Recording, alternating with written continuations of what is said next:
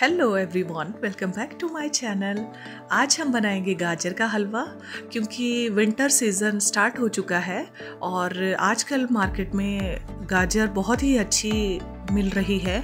तो मैं बना रही हूँ आज गाजर का हलवा और शुरू करते हैं आज की रेसिपी सबसे पहले हम दो किलो गाजर ले रहे हैं यहाँ पे, और इसे मैंने अच्छी तरह से धो लिया था, और दोनों साइड इसकी हम अच्छे से ट्रिम करेंगे, बॉटम और टॉप पार्ट, और सारा इसको हम पील करके एक प्लेट में निकाल लेंगे।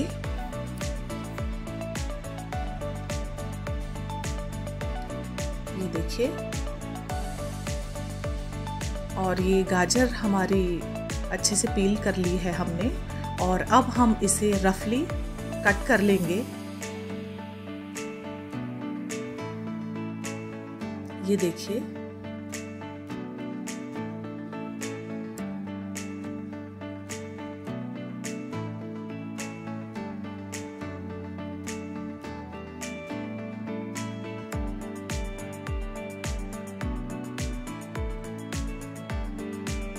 ये देख सकते हो आप, गाजर हमने कट कर ली है। और अब हम एक बर्तन लेंगे और उसमें मैंने दो लीटर दूध ले लिया है और इसे हम रख देंगे कुक होने के लिए। और तब तक इसे हम पकाएँगे जब तक ये रिड्यूस होके आधा ना रह जाए। एक बर्तन लेंगे और इसमें मैं ऐड करूँगी एक बड़ा चम्मच देसी घी। और जैसे ही घी गर्म हो जाएगा, इसमें हम ऐड करेंगे गाजर।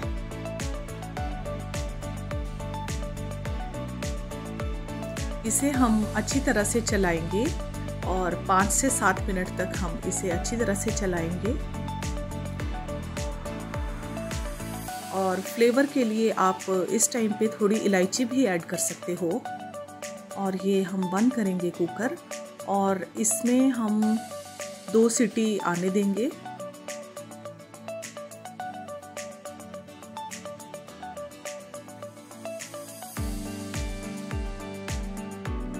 और ये दो सीटी हमारी आ चुकी है। अब हम गैस बंद कर देंगे। अब ये हम देखते हैं, दूध हमारा रिड्यूस होके एक लीटर के आसपास रह चुका है। तो अब हम इसमें ऐड करेंगे ये बॉयल्ड जो गाजर है। इसे हम ऐड कर देंगे दूध में।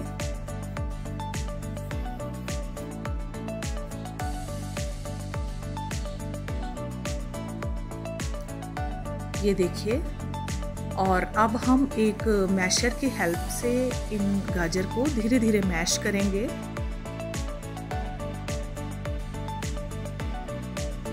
ये बहुत ही इजी वे है गाजर का हलवा बनाने का।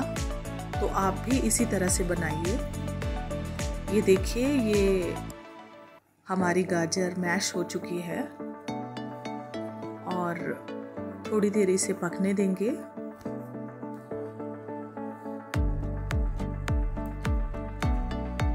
और अब हम इसे ऐड कर रहे हैं हम इसमें। एक बड़ा चम्मच मैं यहाँ पे देसी घी ऐड करूँगी। इससे फ्लेवर बहुत ही अच्छा आएगा। ये देखिए। और साथ में ही मैं इसमें ऐड करूँगी। थोड़ा सा मैं यहाँ पे केसर ले रही हूँ। अगर आपके पास है तो आप ऐड करिए। और अगर नहीं है तो आप स्किप कर सकते हो। ये टोटली ऑप्शनल है।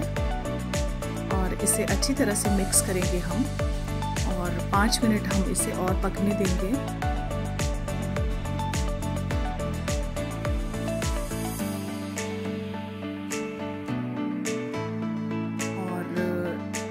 जैसे ही पाँच मिनट हो जाए, पाँच से दस मिनट तो आप इसमें ऐड करोगे चीनी। यहाँ पे मैं चीनी ले रही हूँ 300 ग्राम। अगर आपको मीठा ज़्यादा पसंद है तो आप 400 ग्राम भी ऐड कर सकते हो, बट मैं यहाँ पे 300 ग्राम ले रही हूँ। आप अपने अकॉर्डिंग ऐड कर सकते हो शुगर।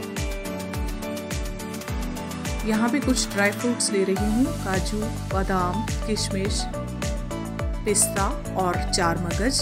तब तक हम इसे थोड़ा फ्राई कर लेंगे ड्राई फ्रूट्स को, जब तक हलवा हो रहा है हमारा। एक बर्तन लेंगे और इसमें मैं ऐड करूँगी एक चम्मच देसी घी। और ये ड्राई फ्रूट्स जो हमारे पास है, बादाम काजू और पिस्ता, इसे हम धीमी आँच पे एक मिनट तक भून लेंगे।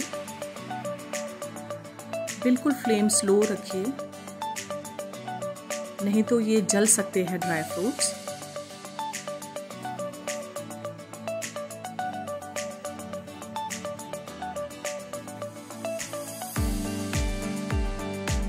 और ये एक मिनट हो चुका है।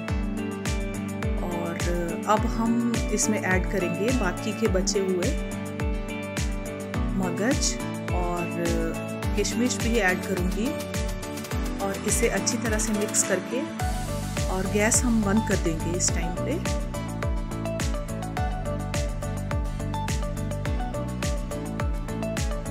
ये देखिए, ये हो चुके हैं। और इसे हम ऐड करेंगे अब गाजर के हलवे में। इसे तब तक कुक करेंगे जब तक ये जो दूध है, ये अच्छी तरह से एब्जॉर्ब ना कर ले।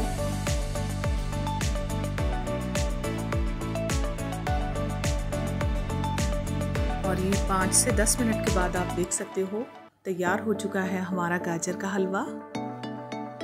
और इसे हम गार्निश करेंगे कुछ टूटी फ्रूटी और पिस्ता के साथ। आपको मेरी रेसिपी कैसी लगी, आप मुझे कमेंट करके ज़रूर बताइए। और मेरे चैनल को सब्सक्राइब कीजिए लाइक कीजिए शेयर कीजिए। और ये विंटर सीज़न में आप गाजर का हलवा ज़रूर अपने घर पे बनाइए।